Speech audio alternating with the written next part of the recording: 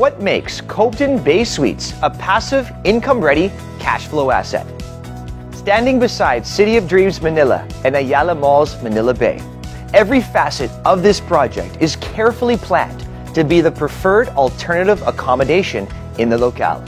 Within the development is an array of well appointed amenities designed by a world renowned interior designer.